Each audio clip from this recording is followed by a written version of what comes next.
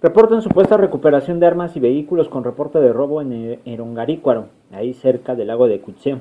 En un reciente operativo en Erongarícuaro, logró el aseguramiento de tres armas largas y una pistola junto con seis vehículos que tenían reporte de robo.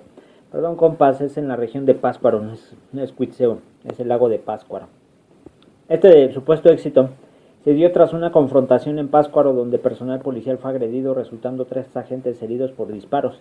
Las diligencias llevadas a cabo por la Guardia Civil en el Ongarícuaro y áreas vecinas permitieron inicialmente localizar cuatro armas de fuego en una brecha.